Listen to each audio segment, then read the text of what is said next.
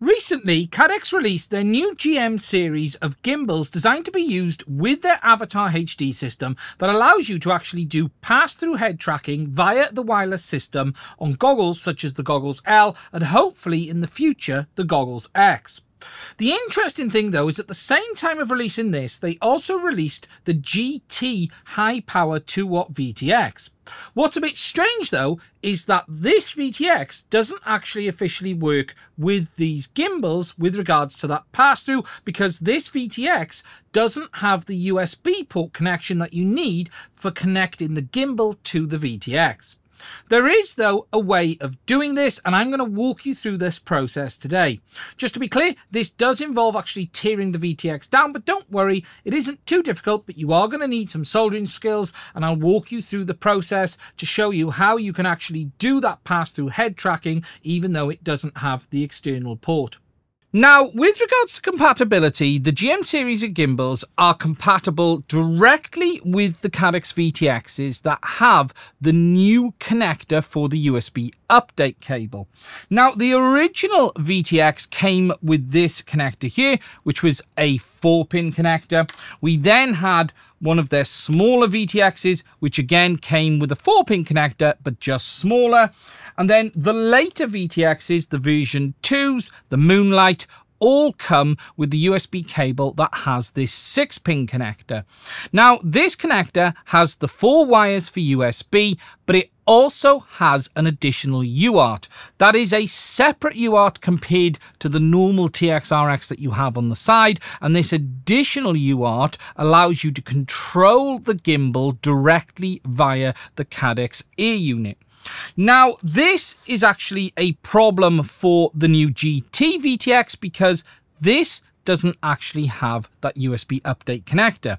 This VTX is updated via the microSD card.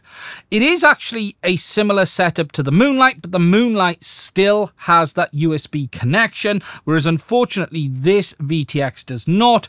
If I just move that gimbal box out of the way, you can see we've got TX and RX2 on the side. In fact, they've pinned the pads out twice. What they should have done is put a TX and RX2 on that connector there and a TX and RX3 on that connector there, but unfortunately they didn't. However, there is a way to use this gimbal with this VTX because there is an internal TX and RX3 port. But to get to this, you're going to need to tear it down. We're going to need to go into this top side because the pads are located on the back of the RF board.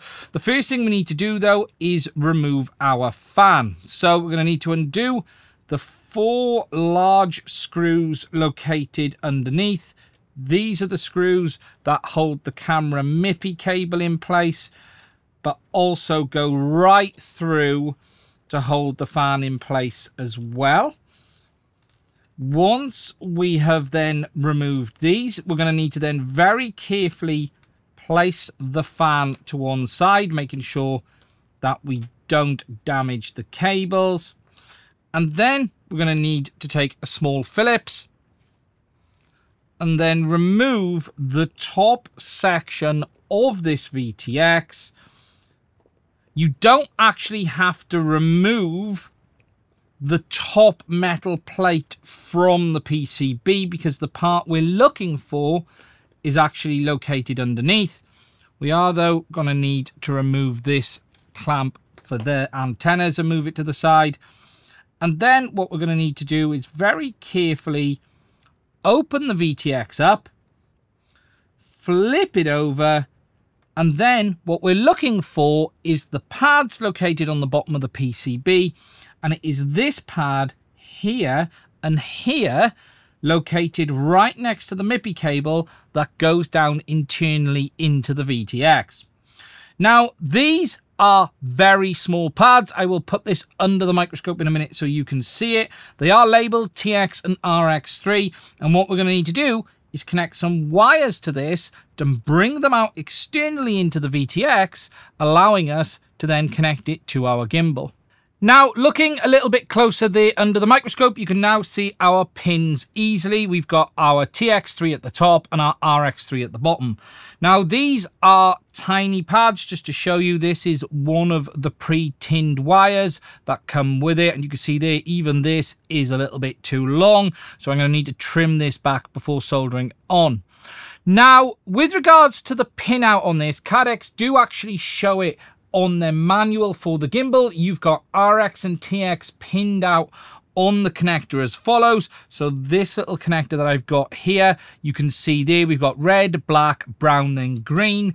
In this order, the brown would be RX, which would go to TX, I guess, on the gimbal, and then the green would be TX, which on the gimbal, which would go to RX on this board. It isn't a major issue if I do get these the wrong way around. You can always swap them around in the connector. But here and now, looking at this, you've got RX labeled there. So that needs to go to the TX on this here. So it's going to be brown to the top and green to the bottom.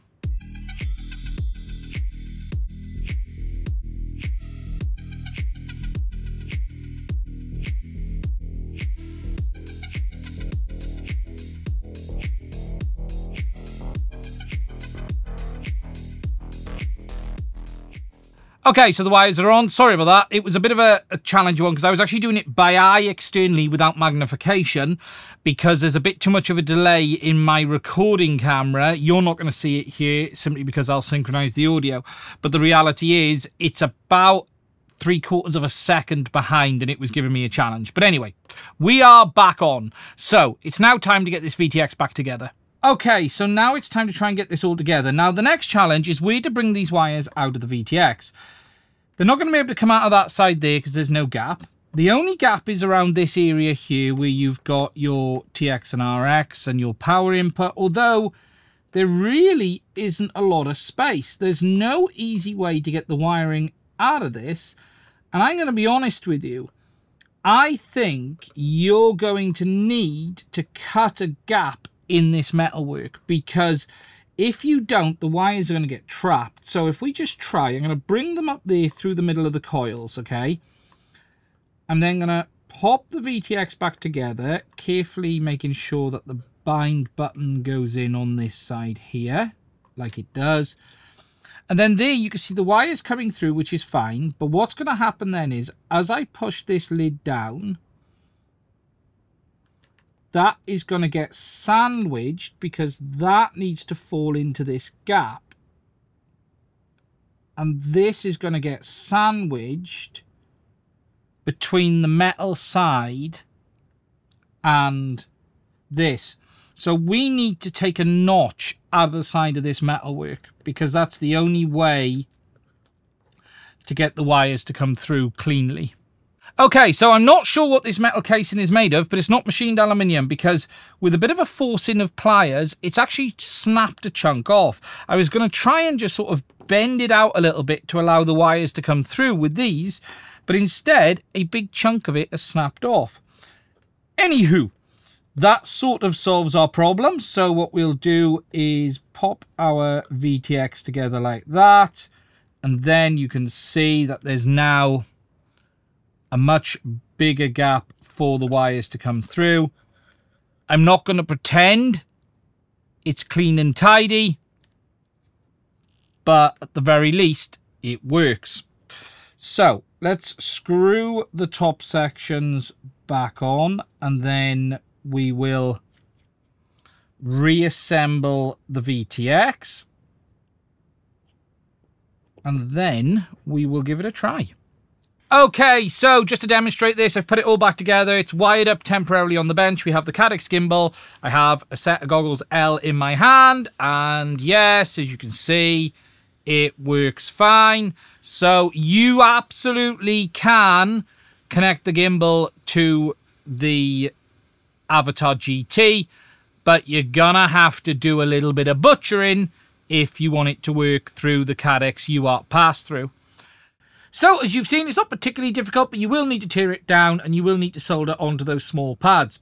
Now, as I said at the start, it is very strange that Caddx chose to release this VTX at the same time as the gimbals, yet it's not really compatible. Hopefully, you never know, there might be a firmware update that at least would allow you to use this with the GT on the external UART, although that would mean you wouldn't be able to use OSD. That's not going to help people who fly, but it might help, say, ground-based situations where you're not bothering with the OSD at all. That would probably be a good midpoint option for people. And then you have the internal UARTs if you're someone who wants to fly with it, as I've shown you here today. Now, that's it from me on this one. I hope you have found this video useful. If you have, please do let me know what you think below. If you'd like to support the channel to allow us to keep making content like this in the future, please do consider checking out the links to my Patreon as well as buy me a coffee. It is only through the support of my patrons I'm able to keep making content on this channel. And if you'd like to support us, please consider checking it out. I want to say a massive thank you to all of my patrons. We would not be able to do this without your support. Anyway, that's it from me on this one. Stay safe. I will speak to you soon.